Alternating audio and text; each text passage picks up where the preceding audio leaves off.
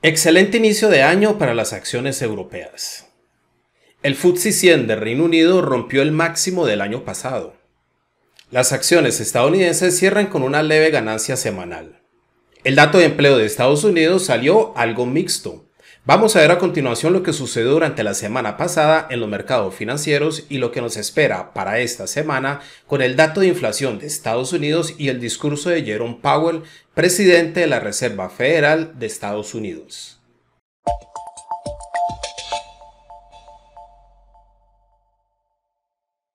Hola, mi nombre es Alexander Londoño, analista de mercados del broker Active Trace. Aprovecho para invitarlos a que visiten nuestros canales de Active Trace Latam y que compartan su contenido con sus amigos y familiares.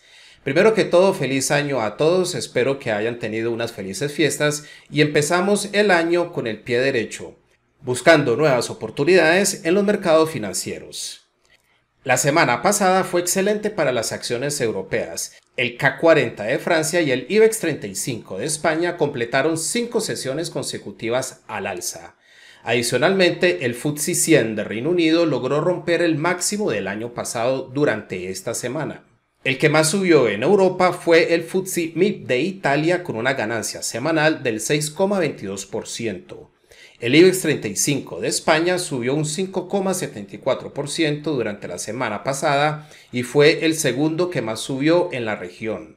Los indicadores económicos de Europa parecen estar mejorando y eso contribuyó al impulso alcista en las acciones. Las ventas minoristas en la eurozona se mantienen fuerte y adicionalmente el sector de servicios intenta regresar a la zona de expansión. El Dow Jones subió un 1,46% semanal y llegó a los 33.600 puntos. El Dow Jones también intenta salir por encima de una zona de congestión en la que ha estado durante varias semanas. Todavía se mantiene mucha indecisión en el Dow Jones debido a los temores de recesión para este año y la incertidumbre que hay alrededor de la Reserva Federal de Estados Unidos, ya que no se sabe si van a continuar subiendo los tipos de interés al mismo ritmo o si van a frenar un poco. El SP500 subió un 1,45% semanal y llegó a los 3.900 puntos. Sin embargo, llega a una zona de resistencia bastante importante en los 3.900 puntos y no ha logrado salir de esa zona de congestión. El Nasdaq también se mantiene dentro de una zona de congestión y no ha logrado romper por encima de los 11.000 puntos. Y durante la semana pasada subió un 0,98%, fue el que menos subió en Estados Unidos.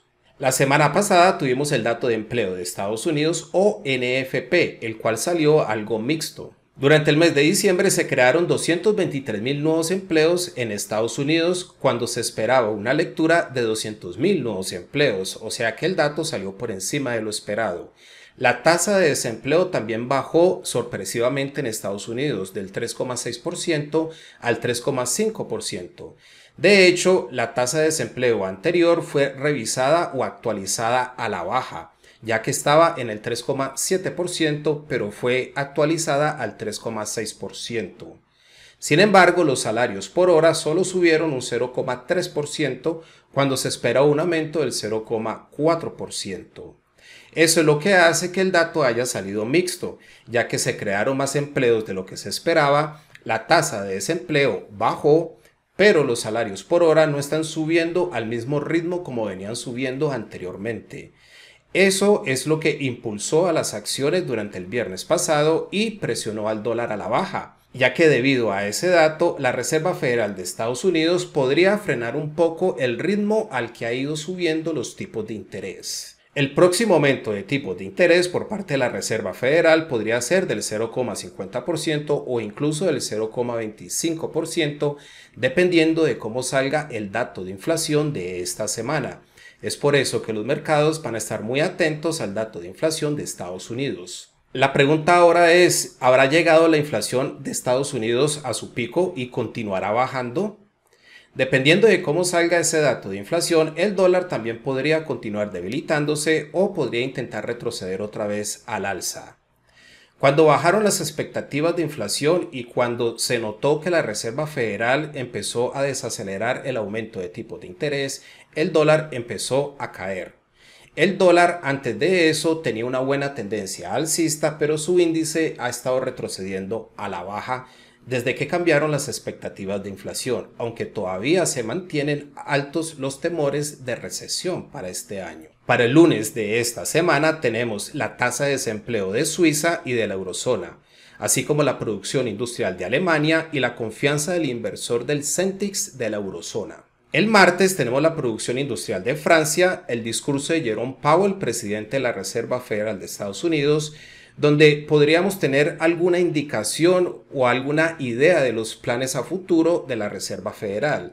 También tenemos el índice de precios al consumidor de Australia, otro dato de inflación importante para esta semana. El miércoles tenemos las ventas minoristas de Italia, así como los inventarios de crudo de Estados Unidos, el índice de precios al consumidor y el índice de precios al productor de China.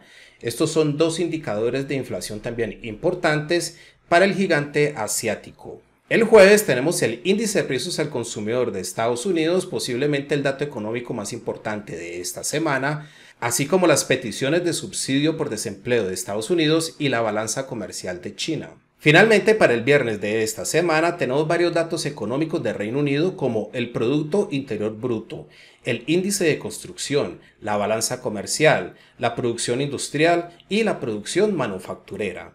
También tenemos el índice de precios al consumidor de Francia, otro dato de inflación de la eurozona, la producción industrial de Italia y de la eurozona y finalmente el sentimiento del consumidor y las expectativas de inflación de la Universidad de Michigan. Vamos a ver a continuación algunos de los activos que acabamos de mencionar para ver cómo se han comportado últimamente.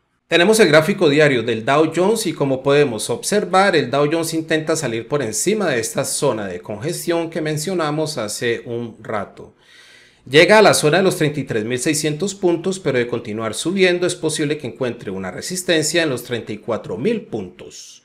Sobre el gráfico diario vemos que la media móvil exponencial de 200 días y de 55 días están muy horizontales esto es indicación de que no hay una tendencia clara a corto plazo y que el índice se está consolidando.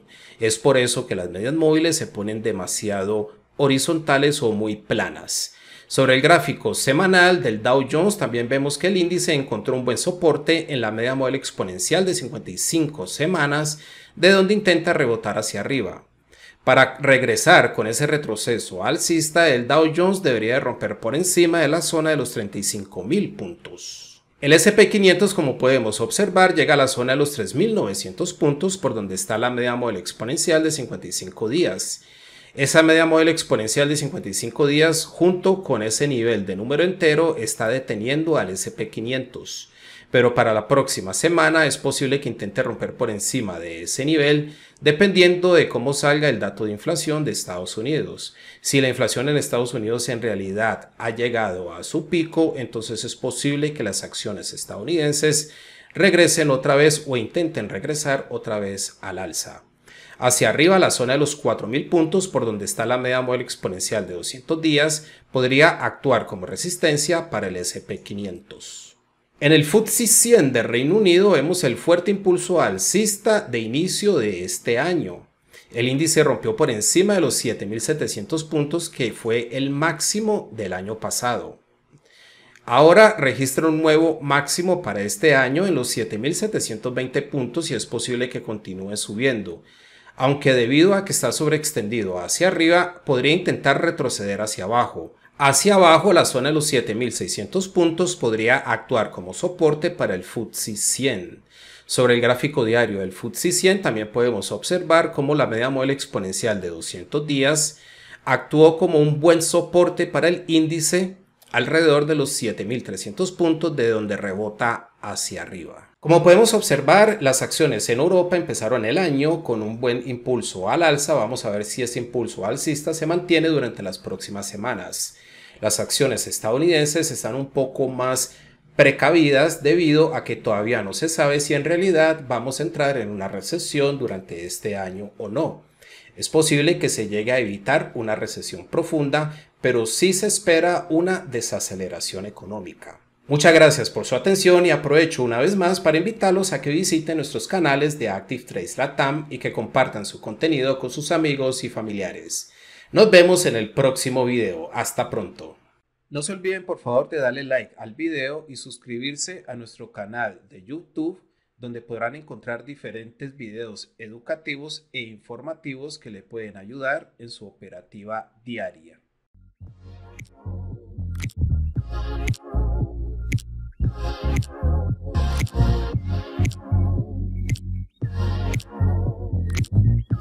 you.